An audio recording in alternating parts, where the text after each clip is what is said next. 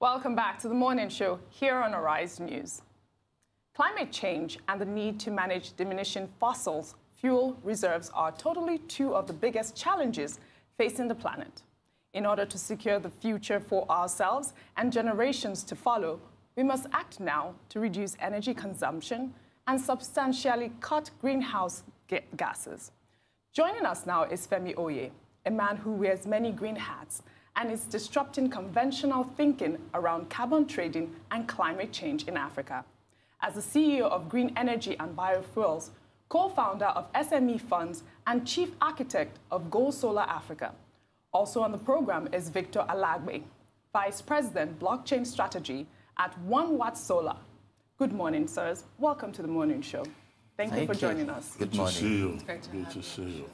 Well, it's interesting to see that uh, you guys are working in the area of renewable energy, mm -hmm. uh, which is a big issue now. I mean, the riots in France, uh, the recent riots yeah. over fuel price mm -hmm. tax and all that, it's over this renewable energy thing. And the EU has a policy about expanding the scope of uh, renewable energy in Europe. So, but Nigeria also has uh, some kind of renewable energy plan, right? Absolutely. Master plan, renewable energy master plan. What do you think of that plan, under which Nigeria hopes to reduce, you know, reliance on hydrocarbons, fossil fuels by 2030? Do you think Nigeria is serious, or you just think government is just making promises and the real area of action is in the hands of you guys in the private sector? Yeah, thank you so much. Um, I think that should be the right direction. So the difference between what we have today and what is going to exist tomorrow is actually just the thin line between our mind and the perspective that we share about the, the issue. Uh, the future is likely going to be driven wirelessly. It's going to be driven through different kind of technology. And uh, when we talk about renewable energy, we are looking at how do we change the narrative and create new narrative or new experience using very simple, non-complicated means to address those burgeoning, complicated problems that we've had. So Nigeria signed into the Paris Agreement, mm -hmm. and I think uh, three issues came out of that, where we're talking about agriculture, how do we advance that? That is under the national uh, determined contribution that I think uh, President Buhari already ascended to. And we is also a good uh, direction. And apart from agriculture, we are also looking at how do we fight poverty, reduce inequality, provide health care to people. And the third one happens to be renewable energy. And uh, Nigeria currently generates and we supply our population with less than 50 to 20% of what is actually needed. Lagos State alone will need approximately 100,000 megawatts hmm. of electricity. And in the entire Nigeria, we're talking about less than five, less than 4,000 megawatts that is generated. So the, everything that we actually have in the country today is not enough to power a standard airport, international airport. And that is what has been given across. So what would tomorrow look like? And that is why the world leaders and scientists, engineers have found out that going conventional way is actually not going to be able to power the future. An average African have two mobile phones. So that means that if we need one kilowatt 10, 15 years ago, so the same kind of energy generation that we have yesterday will not be able to cater for that tomorrow. So that is why we need to begin to look at new technology in which wind, solar, other types of renewable is actually part of what is going to be needed. And the cycle from design to building the plant and distributing or even utilization is shorter. So to connect two cities with national grid mm. is going to take approximately 18 months to two years to be able to do that. But with solar, within three months, even sometimes a month, you have been able to build, install, and also create real electricity or energy for economies to grow. So we need speed. So time is running out. And we also need to start thinking about the planet, climate change, and every other issues. Well, I, I, I, wanted you to uh, do a critique of government policy. That's why I drew attention to the Renewable Energy Master Plan. Okay. What is the attitude of government?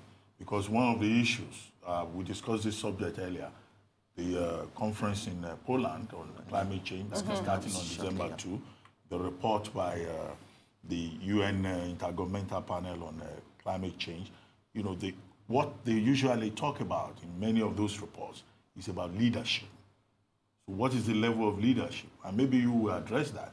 Because when Nigerians talk about renewable energy, mm. what you hear from governors particularly is how oh, they've done street lights mm. using solar panel. That's common. And the, the, thing is just like a demonstration, and it ends there. Okay, most of the people who use solar panels as source of electricity, they are elites mm. because it's very expensive, so the cost. Okay, so where are we? Both at the level of leadership and also in terms of the market. Um, I'll say, um, for the most part, it seems to be, like you said, um, leaning towards doing stuff in the renewable energy space from um, government. But like you said, um, they, there is still a general apathy to what people or what government believe that renewable energy can do in powering um, the ecosystem. So most likely what people have seen solar do is straight lights, and then you think, can I really power a whole house with solar? And so maybe the people that make those decisions are not really convinced that this will solve um, the energy generation problem. And so as much as they try to do, uh, make efforts to put policies in place to, to promote this, it's probably not going to be as um, comprehensive as what a private sector driven initiative would do because, of course, um, government needs to allocate resources to competing needs and ends per time. And perhaps at this point in time that there are not many proven solutions of uh, renewable energy delivering actual energy that people can use. There is that um, apathy towards it. But um, companies like ours in the private sector uh, doing stuff in the renewable energy space, as we deliver our products and it's becoming more obvious that uh, renewable energy can power your own power businesses, power industries, and, and stuff, then I think the narrative starts changing from the um, general sense of apathy into saying, okay, I think there is um, government saying there is stuff here and we should support this industry mm. the more. I read just, somewhere just that you said climate change problems is good for business, mm. right? Okay, talk to us about that. Okay, yeah. So um, we need to also understand that there is a new kind of thinking mm. for us to make leadership work, for us to make progress something that is an everyday thing. So the pace at which we attained where we are today is not going to take us into that future. Uh, we can look at climate change because we, we talked about oil or post-oil regime for, for Nigeria that, okay, with the abundance of crude deposit that we have in Nigeria, um, why should we be thinking about renewable or alternative? Why should we be lowering carbon emission? Mm. Why should we move away from oil when developed country apparently used and developed all their economies based on hydrocarbons? So it's now time for Africa to, like Nigeria, that have huge deposit of gas, huge deposit of petroleum or hydrocarbon, and they are saying we should move away from it. So we could see this as a curse or a blessing. So in the case of Nigeria with a huge deposit, how many billion, about 35 billion metric tons mm. of hydrocarbon deposit? We have over 6 or 5.6 trillion metric tons of deposit of gas. But has this been a blessing to us? No, because we take all the crude, all the raw material, we ship them out and we are buying and subsidizing expensive power. So it's a cost, actually. So we can also take that vis-a-vis climate change. So what is the cost of cutting it down? What is the cost of fighting it? So it will be easier for us to just live our life to assume that we're going to die today than for us to actually be thinking about the generation yet unborn. So climate change today it's a blessing if we are able to tackle it, use the right technology, So in Nigeria, what we've also been able to create is what we call Chinese Development Mechanism, okay. which is the CDM now. Okay. We just use the acronym Chinese because in the last 15 years, I think it was uh, President Jonathan then that first of all tapped into that. And uh, of course, successive government has also been able to participate at the global discourse, our COP meetings, where we sign the, the agreement and we've also ratified that. So over the years, we found that 90% of the revenue that has been set aside to help developing economies to actually leapfrog, overcome all their immediate challenges, have enough resources to develop so that they won't be thinking of going the way of pollution again towards driving their economy. So we signed this, however, we are not participating. So every year, China government make billions of dollars from this same fund. It's like the sovereign wealth fund that is set aside by the global body to help developing economy.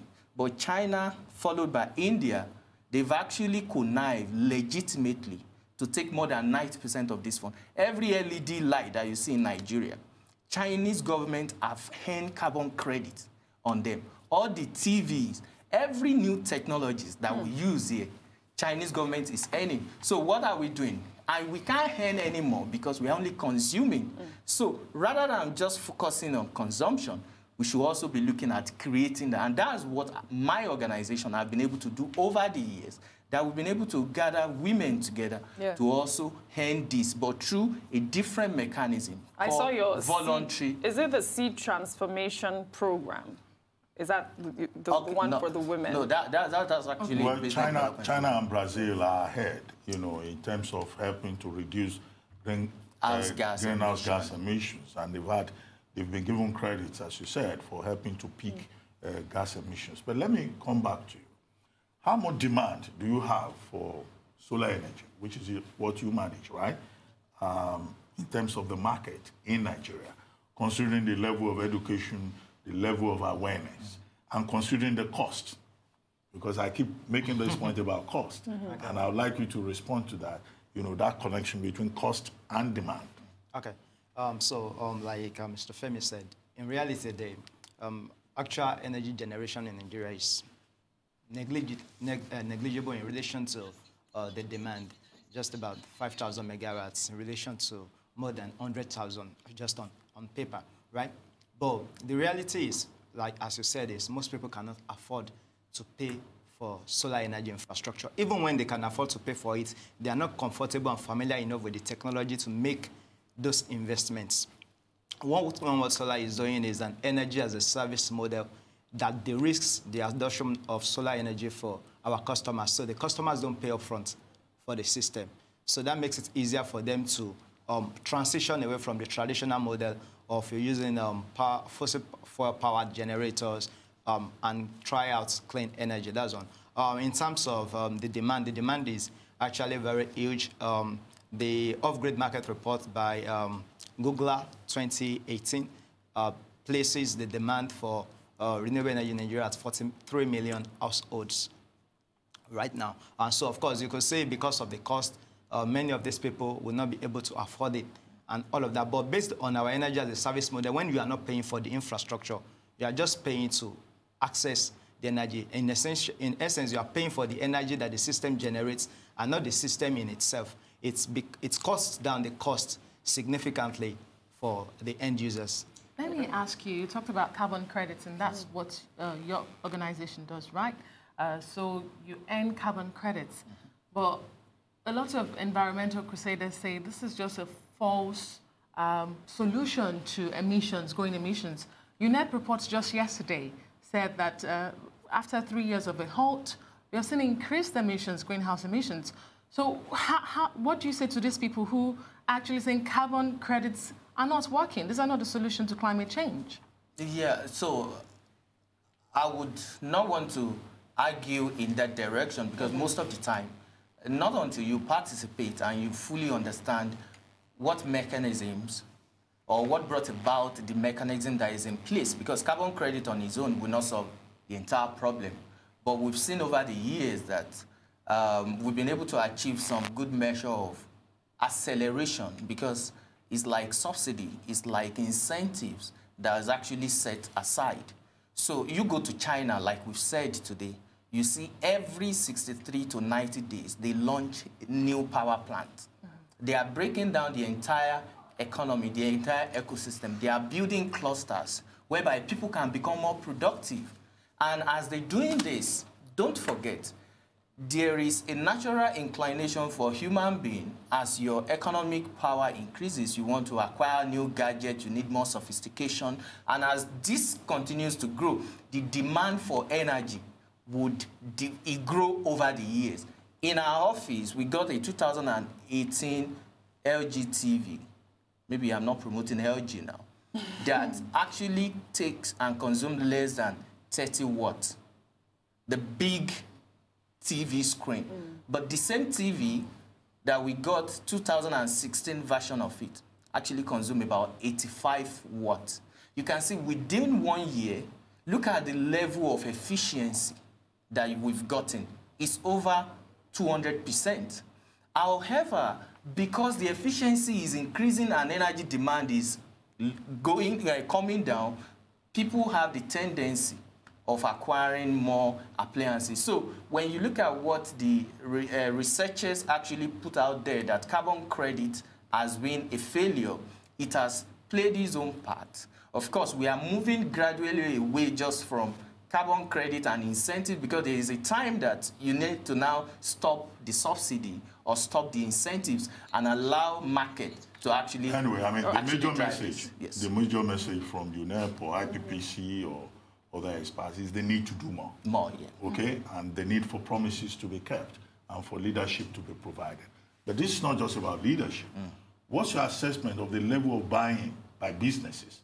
Because there's a government side, there's also a business side. Yes. What's the level of buying by businesses in Nigeria? So it, it makes not just um, um, political sense, it's also making the economic sense today. So businesses are able to cut down cost of running business by literally going solar. You see a lot of solar installation massively going on in Nigeria today, thanks to the administration currently through REA.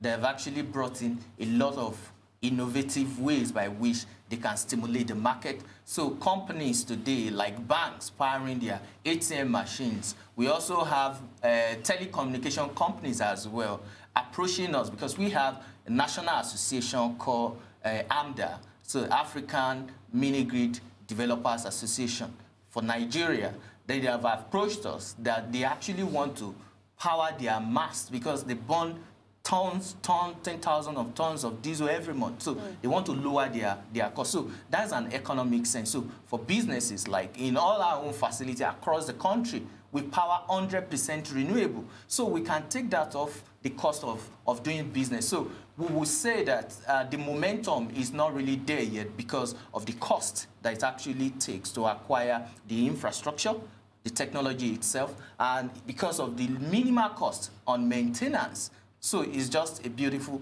idea. So we have more businesses now coming into renewable, and in the future, we've projected that to grow very rapidly.